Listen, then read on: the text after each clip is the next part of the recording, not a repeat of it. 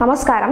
K M മാണിയുടെ മരണശേഷം മകനായ ജോസ് കെ മാണിക്ക് കേരള കോൺഗ്രസ് എമ്മിൽ നിന്നും ലഭിച്ചത് വലിയ പിന്തുണ തന്നെയായിരുന്നു. എന്നാൽ ഇതെല്ലാം താളം തെറ്റിക്കുന്ന രീതിയായിരുന്നു ജോസിന്റെ ഇടതുമുന്നണി പ്രവേശത്തോടെ ഉണ്ടായത്. ഉമ്മൻചാണ്ടിയുടെ നേതൃത്വത്തിൽ കഴിഞ്ഞ യു സർക്കാർ അഞ്ചു വർഷം തികച്ചത് നേരിയ ഭൂരിപക്ഷത്തിലായിരുന്നു. സർക്കാരിനെ അട്ടിമറിക്കാനായില്ല എന്ന് സി പി എം ആദ്യമേ വ്യക്തമാക്കിയിരുന്നെങ്കിൽ പോലും ഒടുവിൽ കെ എം മാണിയുമായി ചില ചർച്ചകൾ നടന്നു. മാണിയെ മുഖ്യമന്ത്രിയാക്കാമെന്ന വാഗ്ദാനവും ഉണ്ടായിരുന്നുവെന്നാണ് വാർത്തകളും വന്നത്.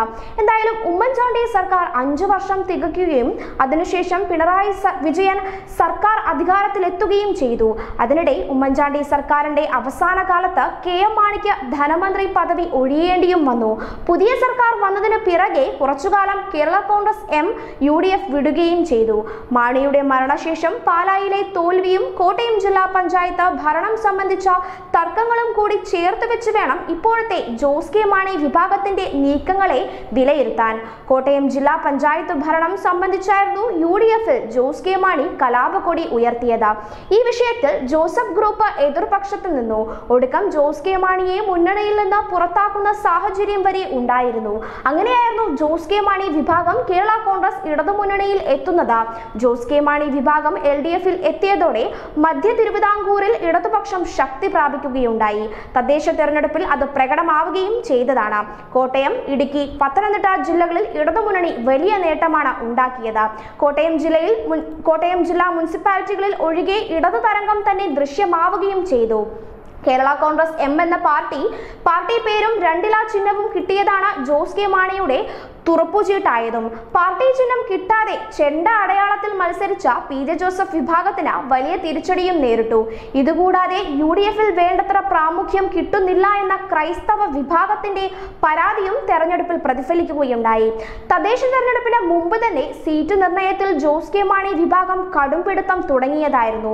എൽ ഡി എഫും സി പി എമ്മും ഇതിനോട് വിട്ടുവീഴ്ച ചെയ്യുകയും ചെയ്തു. ഇതിൽ പ്രധാനമായും നഷ്ടം നേരിട്ടത് സി പി ഐയും എൻ സി പിയും ആയിരുന്നു. ചരിത്രത്തിൽ ആദ്യമായി പാലാ നഗരസഭ പിടിച്ച് പിടിച്ചെടുക്കാൻ എൽ ഡി എഫിന് ഇത്തവണ അങ്ങനെ സാധിച്ചു.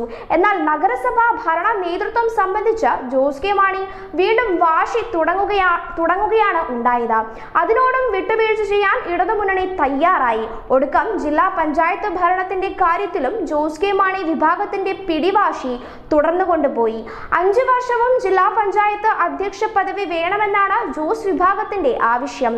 സീറ്റ് നിലനോക്കിയാൽ ജോസ് കെ മാണി വിഭാഗത്തേക്കാൾ മുന്നിൽ സി പി എം ആണ്. രണ്ടര വർഷം ഭരണം പങ്കിടാമെന്ന സി പി എം വാഗ്ദാനം അംഗീകരിക്കാൻ തുടക്കം മുതലേ ജോസ് കെ മാണി വിഭാഗം തയ്യാറായിരുന്നില്ല. തദ്ദേശ തെരഞ്ഞെടുപ്പിന് തൊട്ടു മുൻപാണ് ജോസ് കെ മാണി വിഭാഗം എൽ ഡി എഫിൽ എത്തിയത്. മാസങ്ങൾക്കുള്ളിൽ തന്നെ മുന്നണിയിൽ തർക്കത്തിന് വഴി വഴിമരുന്നിടുന്നതും ജോസ് കെ മാണി വിഭാഗം തന്നെയായിരുന്നു. തദ്ദേശ തെരഞ്ഞെടുപ്പിൽ നേടിയ മിന്നും വിജയമാണ് ഇതിന് അവർക്ക് ആത്മവിശ്വാസം പകർന്നതും.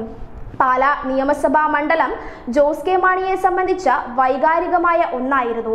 തദ്ദേശ തെരഞ്ഞെടുപ്പിന്റെ പശ്ചാത്തലത്തിൽ പാലാ സീറ്റിനായി ജോസ് നിർബന്ധം പിടിക്കുമെന്നും ഉറപ്പായി കഴിഞ്ഞു. എൻ സി പിയുടെ sitting M L A Mani C കാപ്പനും Pala മണ്ഡലം വൈകാരിക വിഷയമായി തീർന്നു. ജോസിന് മുന്നിൽ എൽ ഡി എഫ് വഴങ്ങിയാൽ മാണി സി കാപ്പൻ മുന്നണി വിടുമെന്നും ഏറെക്കുറെ ഇപ്പോൾ ഉറപ്പായി കഴിഞ്ഞിരിക്കുകയാണ്. ജോസ് കെ മാണിയുടെ വരവോടെ എന്തായാലും വർഷങ്ങളായി ഇടതുമുന്നണിയിൽ നിലകൊള്ളുന്ന N C P U D എഫിലേക്ക് പോയേക്കുമെന്ന ആശങ്കയാണ് ഇപ്പോൾ നിലനിൽക്കുന്നത്. മാണി സി കാപ്പൻ നിയമസഭാ തെരഞ്ഞെടുപ്പിൽ പാലായിലെ യു ഡി എഫ് സ്ഥാനാർത്ഥിയാകുമെന്ന് പി ജെ ജോസഫ് പ്രഖ്യാപിക്കുകയും ചെയ്തു. ജോസ് കെ മാണിയെ മുന്നണിയിൽ എടുത്തത് ഇത്തരത്തിൽ വലിയ തിരിച്ചടികൾക്ക് കാരണമാകുമോ എന്ന ആശങ്കയും ഇപ്പോൾ നിലനിൽക്കുന്നുണ്ട്. ഇത്തരത്തിലുള്ള തർക്കങ്ങൾ തുടർന്നാൽ വരുന്ന നിയമസഭാ തെരഞ്ഞെടുപ്പിൽ തിരിച്ചടിയാകുമോ എന്ന ആശങ്കയും എൽ ഡി എഫിനുള്ളിൽ ഇപ്പോഴുണ്ട്. ജോസ് കെ മാണി വിഭാഗത്തിന്റെ വരവ് മാത്രമല്ല യു ഡി എഫിനോടുള്ള അസംതൃപ്തി കൊണ്ട് കൂടിയാണ് തദ്ദേശ തെരഞ്ഞെടുപ്പിൽ മധ്യ തിരുവിതാംകൂറിൽ വിജയം നേടാൻ കഴിഞ്ഞത് എന്ന വിലയിരുത്തലും എൽ ഡി എഫിനുണ്ട്.